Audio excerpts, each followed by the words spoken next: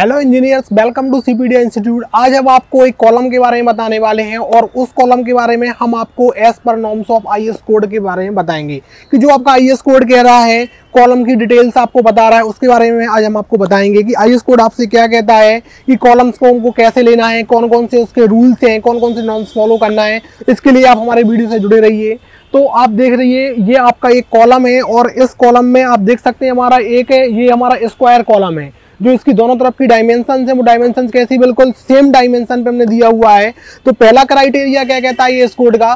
कि जब भी आप क्या करते हैं, आपको कॉलम देना है। यदि आपका लोड कॉलम की एक्सेस पे आ रहा है, सीधा आपका एक्सेस पे आ रहा है, तब आप कौन सा देने वाले हैं? आपको स्क्वायर कॉलम देना चाहिए। मैक्सिमम केस में स्क्वायर कॉलम ही देते हैं। यदि आपका लोड जो है, आपका एसेंट्रिक एक्सेस पे आ रहा है आपका, तब आप क्या देंगे? तब आप रेक्टेंगुलर कॉलम आपको देना होता है। तो मैक्सिमम केस में हमेशा स्क्वायर कॉलम ही हम देते हैं, क्योंकि हमारा लोड जो होता है, वो ऐसा कॉलम के एक्सेस पे ही आता है। ये हमारा क्या होता है? फ़र्स्ट पॉइंट होता है। दूसरा पॉइंट हम आपको बताएँगे कि जो आपका कॉलम होता है कॉलम की जो हाइट होती है, ये आपकी कॉलम की हाइट है और ये आपकी कॉलम की क्या है बिद है। तो कॉलम की हाइट और जो बिद का रेशियो होता है मतलब हाइट टू बिद रेशियो जो होता है, वो आपका 40 से कम होना चाहिए या 40 होना चाहिए। जो हाइट है हाइट से आप बिद को डिवाइड करेंगे, जो आपका रेशियो आएगा, वो आपका 40 और 40 से कम ही होना चाहिए 40 से ज़्यादा आपका नहीं होना चाहिए हाइट टू बिद रेशियो ये आपका दूसरा पॉइंट है।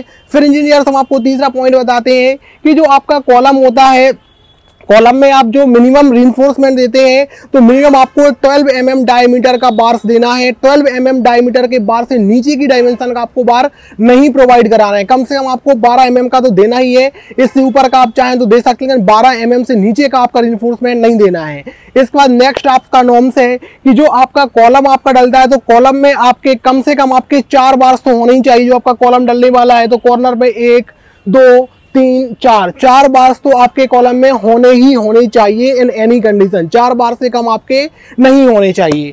इसके बाद हम आपको बताते हैं कि जो आप बार्स देते हैं कॉलम में आईएस कोड ऐसा कहता है कि जो आप कॉर्नर पे बार्स देते हो, जैसे आपका एक ये वाला कॉर्नर पे बार है, ये आपका एक ये कॉर्नर पे बार है। तो जो कॉर्नर कॉर्नर पे चारों कॉर्नर पे आप बार्स देते हो और जो बीच में बार देते हो तो कॉर्नर वाला बार हमेशा आपका इसकी डायमेंशन ज़्यादा होनी चाहिए और बीच वाले बार्स की या तो कॉर्नर वाले बार्स के बराबर हो इक्वल हो या फिर इससे कम होना चाहिए। लेकिन बीच वाले बार्स की डायमेंशन कभी ज़्यादा नहीं होना चाहिए कि कॉर्नर वाले से। कॉर्नर वाला कभी कम नहीं होना चाहिए। कॉर्नर वाला जो बार्स होता है, वो हमेशा आपका कैसा होना चाहिए? ज़्यादा डायमेंशन के साथ, बड़ा, बड़ी डायमीटर का होना चाहिए। जो बीच में बार्स दिए हैं, वो आपके कैसे होने चाहिए? कि या तो उसके इक्वल डायमीटर के हो या फिर उससे कम डायमीटर के हो। ये बहुत ही इंपॉर्टेंट टर्म्स है जो आईएस कोड आपको बता रहा है। इसके बाद नेक्स्ट हम आपको बताते हैं कि जो आपका कॉलम होता है, इसमें जो हम जब क्या करते हैं स्पेसिंग देते हैं, जो हम क्या देते हैं, इसमें लिंक्स बांधते हैं, अपना लिंक्स जो हम बांधा करते हैं तो लिंक्स में जो हम स्पेसिंग देते हैं, वो कितना हमको देना है?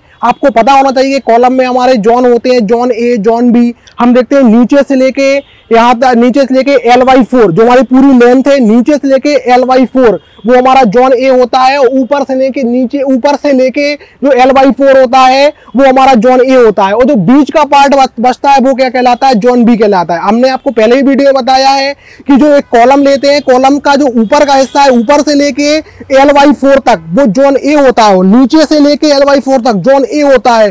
और बीच का जो पोर्सन होता है, वो जॉन बी होता है। तो जॉन ए में जो नीचे और ऊपर है एल वाई फोर उसमें आपको जो रिंग्स की स्पेसिंग देनी है, वो 100 एम mm से ज़्यादा नहीं देनी है। और जो आपका जोन बी है, जो कि बीच में है उसमें जो रिंग्स की स्पेसिंग देनी है, वो आपको 150 एम mm से ज़्यादा नहीं देनी है। ठीक है स्टूडेंट्स इसके बाद मैं आपको बताता हूँ, यदि आपको कॉलम में लैपिंग देनी है तो लैपिंग भी आपको जोन बी में ही देनी है। मतलब आपको बीच में ही देनी है सेंटर में ही देनी है। जोन बी में ही आप देंगे जोन ए में आपको लैपिंग नहीं देनी है।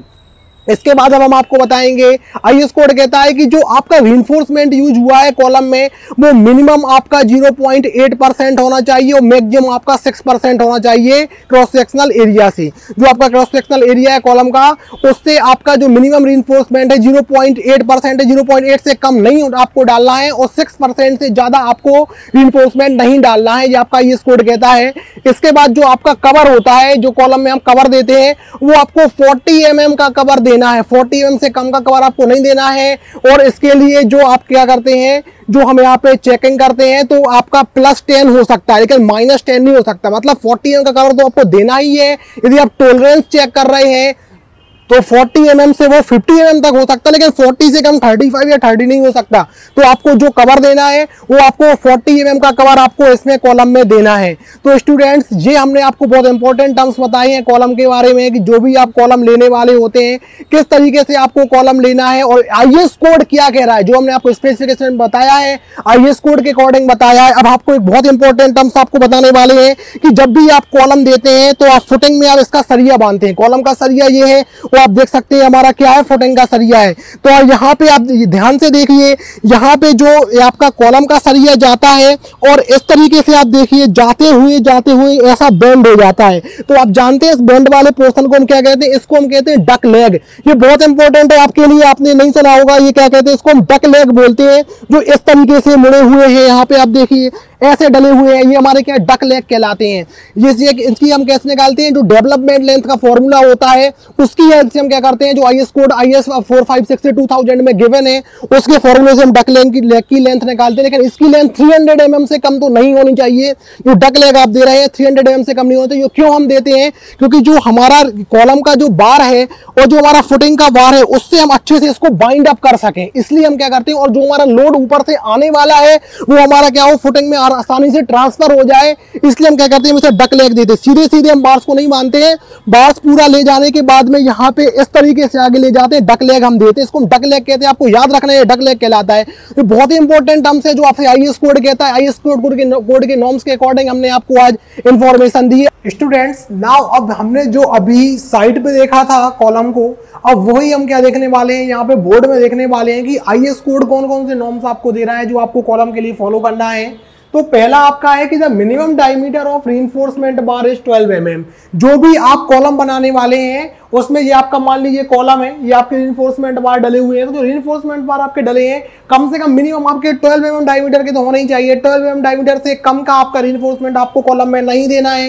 ये पहला आपका नॉर्म्स है, दूसरा आपका the minimum four number of bars are provided in square column. यदि आप स्क्वायर कॉलम दे रहे हैं, ठीक है तो आपको कम से कम चार बार्स आपको प्रोवाइड करने हैं। चारों कोने पे आपको चार बार्स प्रोवाइड करने ही करने हैं। और यदि and the minimum six number of bars are provided in circular column यदि आप सर्कुलर कॉलम दे रहे हैं तो मिनिमम आपको छह नंबर्स के बाद आपको क्या करना है? प्रोवाइड करना है। यदि आपका क्या है? रेक्टेंगल है तो फोर नंबर और यदि आपका सर्कुलर है तो सिक्स नंबर हमारा सर्कुलर कॉलम इसमें देखिए। One two three four five six six number of bars हमने मिनिमम यहाँ पे प्रोवाइड किए। सिक्स से आपको कम प्रोवाइड नहीं करना है। इसके बाद आप देखिए, तीसरा हमारा नॉर्म से the ratio of height to big is less than और इक्वल टू 40 जो यदि मान लो आप देख सकते हैं कॉलम है, इस कॉलम की जो हाइट है ठीक है? और इसकी क्या है? जो विद है।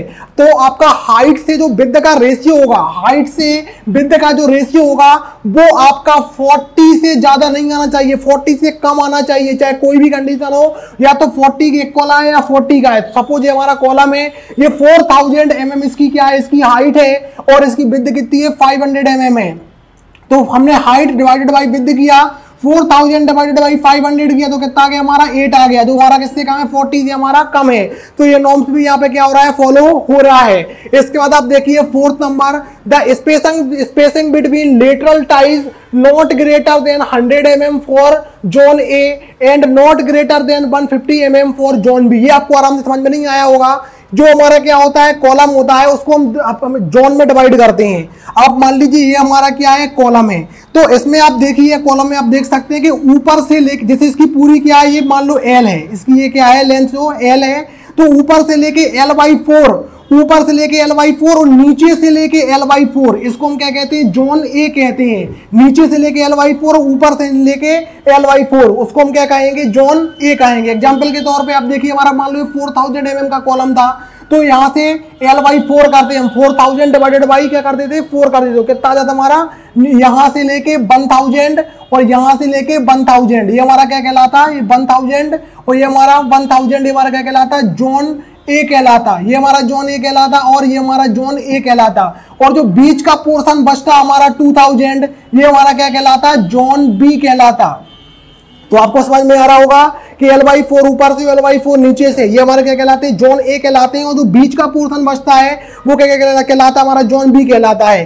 तो जो हमारा जोन ए होता है जोन ए की जो लेटरल टाइज डली है, जो हमारे क्या होते हैं? रिंग्स डली हुई होती है। तो जोन ए में और जोन जोन ए में जो रिंग्स डली हुई होती है, उस जोन ए की जो हमारे क्या स्पेसिंग होती है, वो हमारी 100 एम mm से ज़्यादा नहीं होनी चाहिए। मतलब ये हमारी मान लो रिंग्स जोन ए है जोन ए में दो रिंग्स डली हैं। इन दोनों रिंग्स की जो बीच की स्पेसिंग है not more than 100 M M hundred M से ज़्यादा नहीं होनी चाहिए। ठीक है? जोन ए में, यहाँ भी जोन ए यहाँ भी जोन ए और जोन जोन बी है। उसमें हमारा जो and zone B not greater than 150 fifty M for zone B और जो जोन बी में हमारी जो रिंग्स ली हुई हैं, इनके बीच की स्पेसिंग 150 फिफ्टी एम से ज़्यादा नहीं होनी चाहिए। मतलब हम जोन ए में 100 से ऊपर स्पेसिंग नहीं ले सकते, जबकि जोन बी में हम 150 फिफ्टी एम तक ले सकते, लेकिन 150 से ऊपर हमको जोन बी में भी नहीं देना है। ये बहुत इंपॉर्टेंट टर्म्स है। जो आई कोड आपसे कहता है, आपके पूरे पोर्सन को क्या करता है?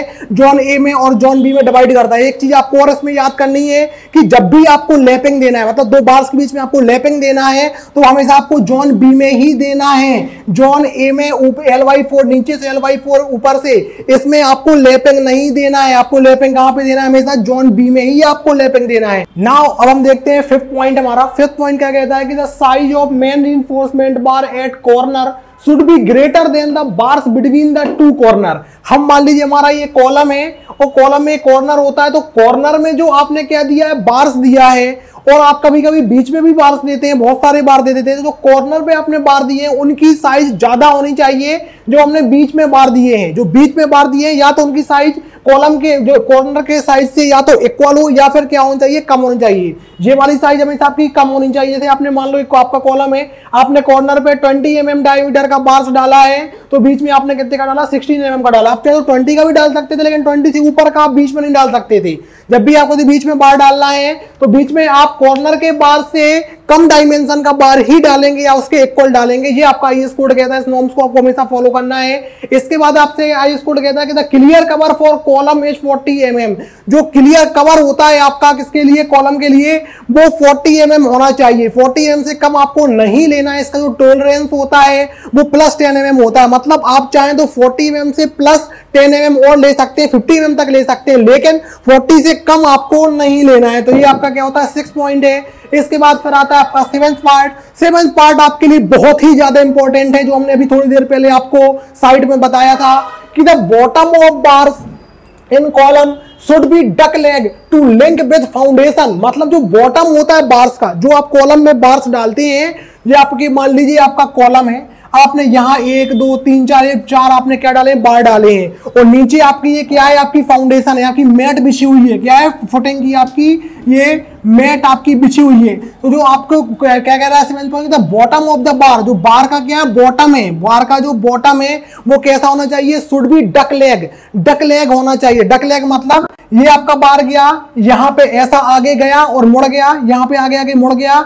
यहाँ से बैंड हो गया, यहाँ से बैंड हो गया और यहाँ पे जो आपकी फुटिंग की जो क्या रिनफोर्समेंट डली हुई है, उससे क्या हो जाएगा? ये अच्छे से ज्वाइंट हो जाएगा। तो इस तरीके से आपके डक लेग होना चाहिए। हमने आपको बताया क्या कहलाते हैं? डक लेग कहलाते हैं और डक लेग की जो साइज़ होती है मिनिमम थ्री हंड्रेड mm तो होनी चाहिए। और आपका आई एस कोड में आप देख सकते हैं, इसका अलग से फॉर्मूला लिखा हुआ है डेवलपमेंट लेंथ निकालने के लिए।